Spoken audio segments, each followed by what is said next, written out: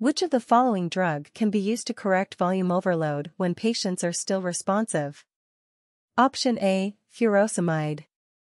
B, sucralfate. C, simethicone. D, both A and C.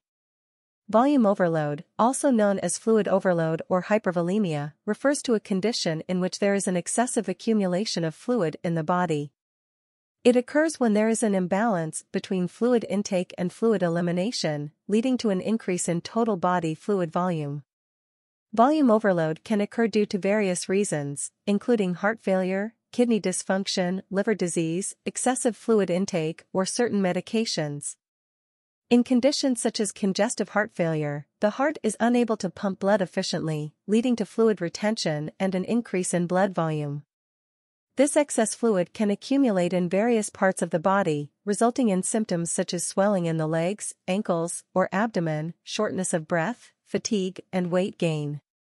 Treatment typically involves addressing the underlying cause, such as managing heart failure or kidney dysfunction, and utilizing diuretic medications like furosemide.